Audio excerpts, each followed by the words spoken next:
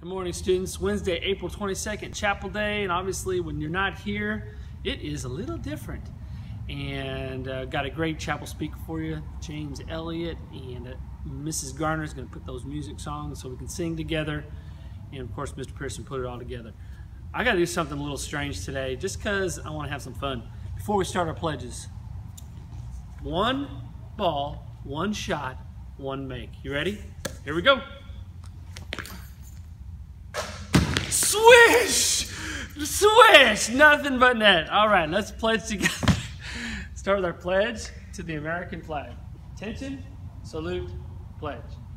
I pledge allegiance to the flag of the United States of America and to the republic for which it stands, one nation, under God, indivisible, with liberty and justice for all. To the Christian flag, pledge. I pledge allegiance to the Christian flag and to the Savior for whose kingdom it stands. One Savior, crucified, risen, and coming again, with life and liberty for all who believe. To the Texas flag, pledge. Honor the Texas flag. I pledge allegiance to the Texas, one state under God, one and indivisible. To the Bible, pledge. I pledge allegiance to the Bible, God's holy word. I will make it a lamp unto my feet and a light unto my path. I will hide its words in my heart that I might not sin against God. Students, will you pray with me? Our Father God, we are grateful that we can uh, have chapel. Speak to our hearts. Use the message to touch us, to guide us, that we would love Jesus more and love others more. Pray this in Jesus' name. Amen.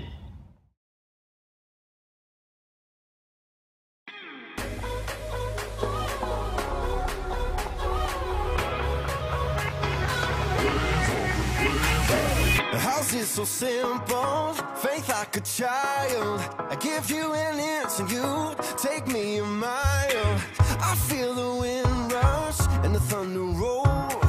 Two feet on the water,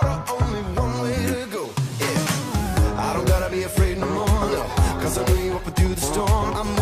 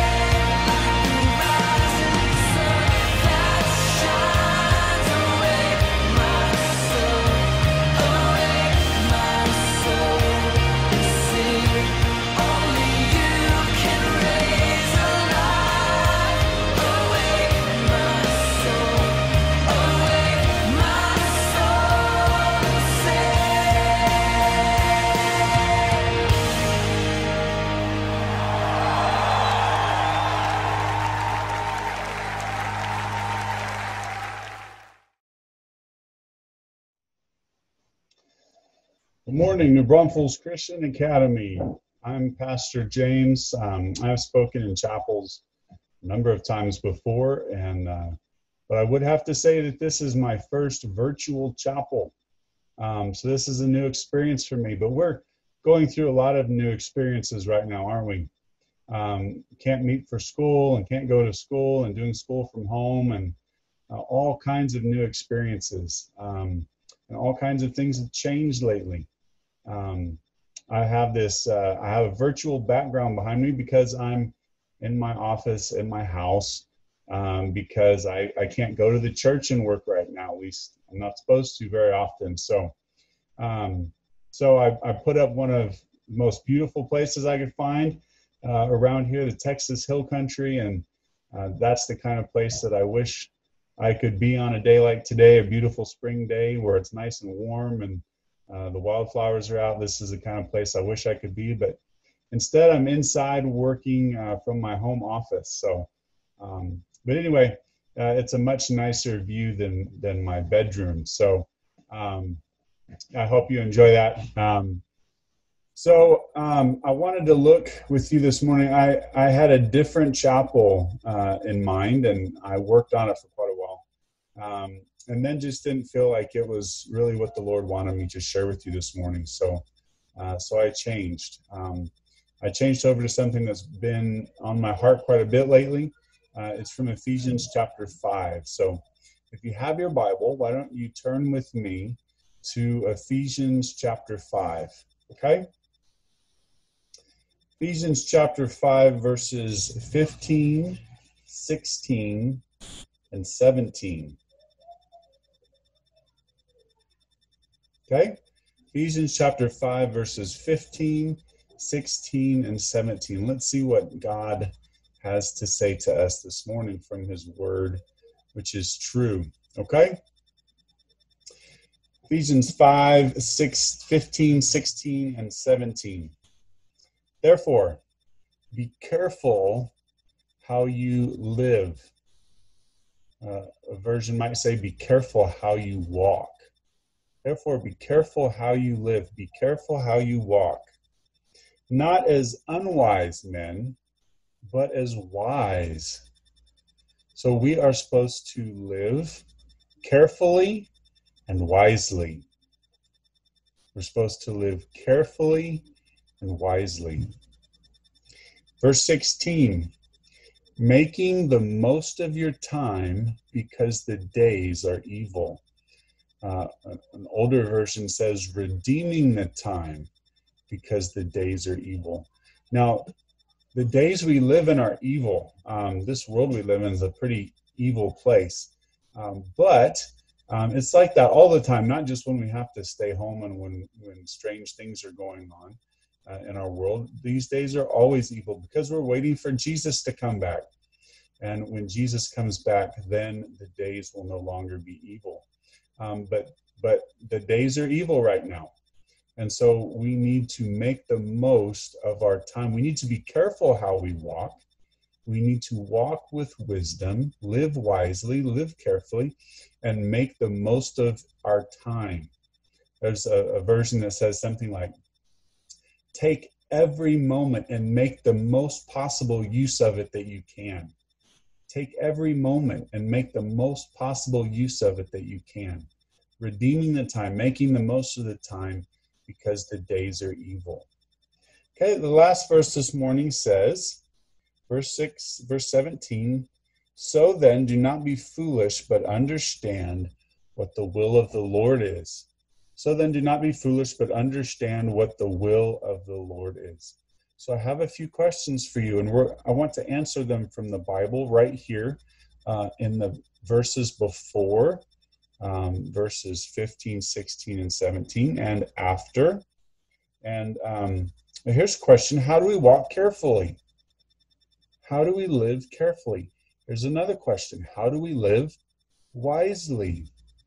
If we're supposed to live carefully and wisely, how do we do that? Verse 16 How do we make the most of our time? We know that these are evil days. How do we make the most of our time? And how do we be wise and understand what the will of the Lord is? These are big questions. And we could find all kinds of great answers all throughout the Bible. But let's answer these questions right here from Ephesians chapter 5 and the beginning of chapter 6. Okay? So here are the questions we want to answer. How do we live carefully? How do we live wisely? How do we make the most of our time? How do we live carefully? How do we live wisely?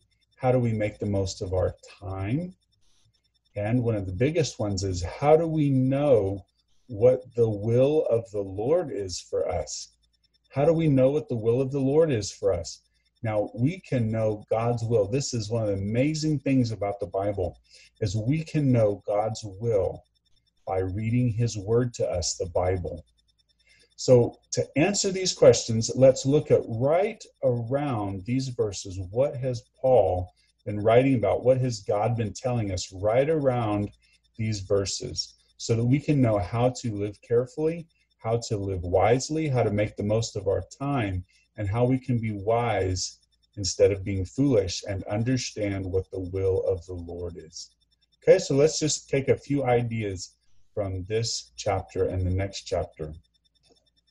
Ephesians chapter 5, verse 1 says, Therefore be imitators of God.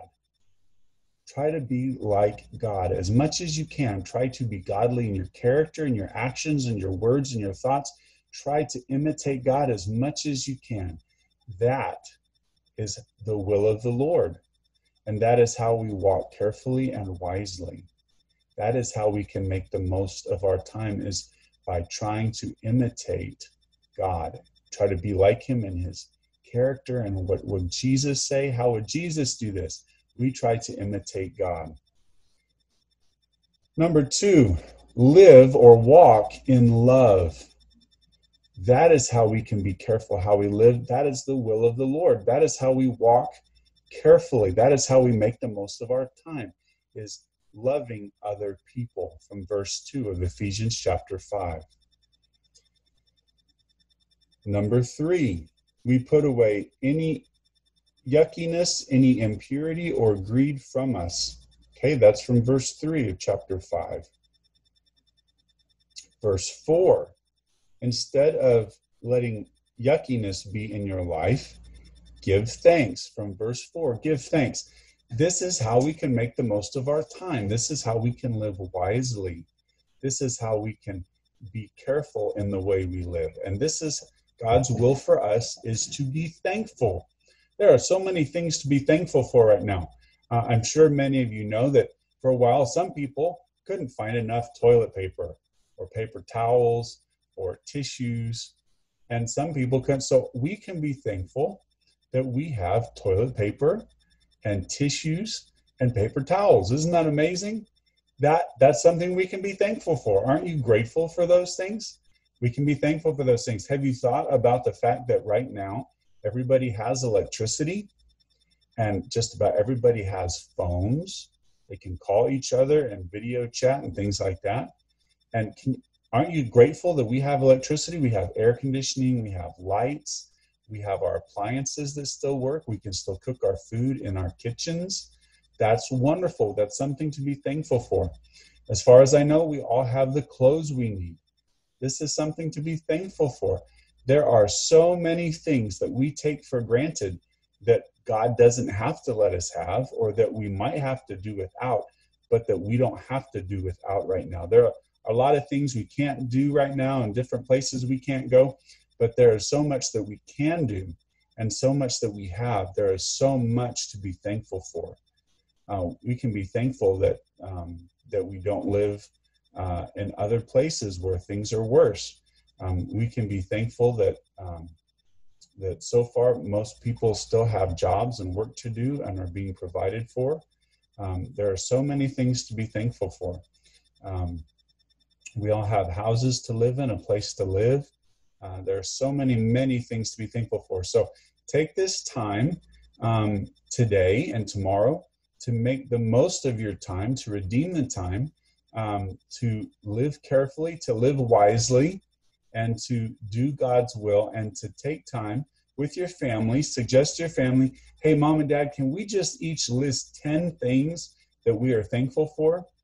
Um, I can be thankful that I get to work from home right now and I get to see my five kids more and I get to see my wife more. That's wonderful.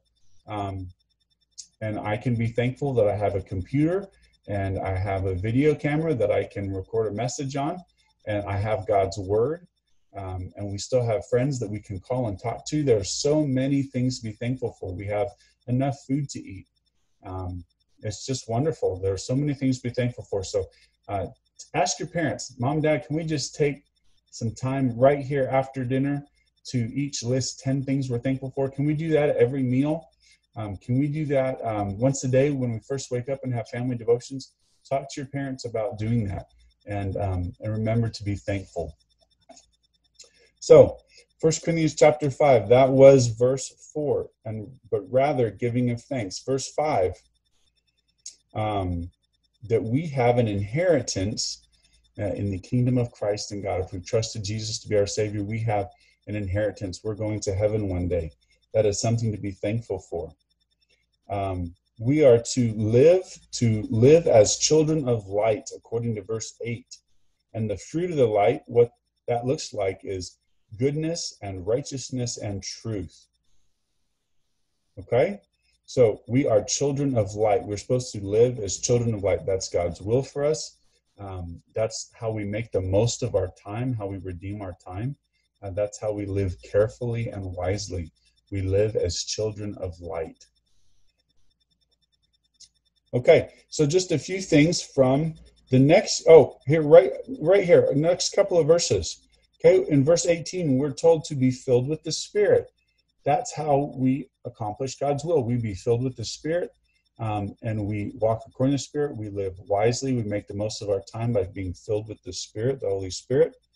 Speaking to one another in psalms and hymns and spiritual songs, singing and making melody with your hearts to the Lord. Always giving thanks. There it is again. You see how important that is? Right there in verse verse um, 20 always giving thanks for all things in the name of our Lord Jesus Christ to God, even the Father. Isn't that amazing? That's twice in one chapter. We're told to remember to be thankful. That's how we live wisely. That's how we make the most of our time, is by living with thankful, grateful hearts instead of being angry and grumpy and stubborn and irritated and mad that we can't do what we want to do and go where we want to go and see the people we want to see. We're supposed to live with thankfulness. And then if we look at Ephesians chapter 6, no, rest of Ephesians chapter 5. Ephesians chapter 6. Children, obey your parents in the Lord. Oh, man. Children, obey your parents in the Lord. Honor your father and your mother, for this is the first commandment with a promise that it may be well with you and that you may live long on the earth. That's Ephesians chapter 6, verses 1 and 2 and 3 that is how we live in a way that pleases God. That is how we live wisely and carefully, and how we make the most of our time is by being obedient to our parents and honoring them. And then, if we were to go on in Ephesians chapter 6, we would find out that we're supposed to put on the full armor of God. And putting on the full armor of God, that is how we live carefully. We put on that whole armor of God. That is how we live wisely we put on the whole armor of God. That is how we do God's will. So let me read the verses that we started out with one more time. Ephesians chapter 5, verses 15 and 16 and 17. Therefore, be careful how you walk, be careful how you live, not as unwise people, but as wise. Verse 16, making the most of your time because the days are evil. So then, do not be foolish, but understand what the will of the Lord is. We can be wise and understand what the will of the Lord is and live carefully and wisely. Um, this is an amazing passage. This is what God has put on my heart lately is that during this time, a lot of people have extra time and things are different and things have changed, and that's okay. We need to make the most of that time so we can't do all the things we used to do. Let's make the most of the time that we have. Let's be wise with our time. Let's live carefully and not waste the precious moments and days and weeks and months that God has given us. Let's learn new things. Let's do new things. Let's spend extra time with God right now, seeking Him in prayer and memorizing His Word and doing Bible study and calling our friends to encourage them and, and um, praying with them over the phone and doing video chat with them.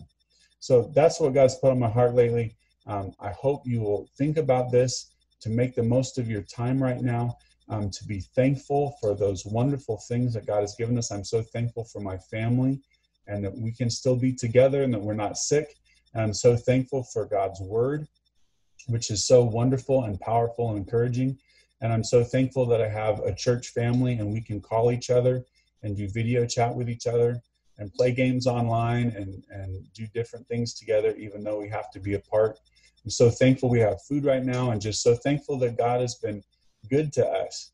Um, and that even though things may be different right now and maybe a little harder, uh, we can be thankful. Um, we can take this time to, to call our family, maybe aunts or uncles or grandparents, grandmas, um, cousins, and talk to them about Jesus and share Christ's love with them. Uh, we can take this time to serve other people and help them. Uh, maybe especially elderly people that need food delivered to their homes, or maybe they need their lawn mowed. Um, we just went down the road the other day and we helped uh, a couple of elderly ladies who live down the road. Um, they were in their house and we just went out and they had a brush pile sitting on the curb and we cut up the branches for them smaller and then bundled them up and left them there on the curb to help them. So uh, let's use the most of our time, make the most of our time, make the most of every moment we have for Jesus' sake. So let me pray for us, um, boys and girls. New Braunfels Christian Academy. Uh, thank you for letting me share with you this morning. Um, God is good and He loves you very, very much. Very, very much. So let's go to Him in prayer right now. God, I thank you for loving us, and I just ask that you would help us to have a spirit of gratefulness and thankfulness. Lord, help us make the most of our time and not waste it. God, help us to be um, thankful each day for the wonderful things you've given us and blessed us with, the things we still have, uh, those things that are really so important in life. God, help us to live carefully and understand what your will is. Thank you for giving us your word, the Bible, which is true and which tells us what you want for us and what you want us to be doing and how we can obey you. Help us to obey you and make the most of our time. In Jesus' name, amen. New Braunfels Christian Academy, have a great day. Um, keep your focus on Jesus. Keep seeking him and loving him first and most, and make the most of your time. And hopefully, I'll see you soon in person. Bye bye for now. This is Pastor James signing off.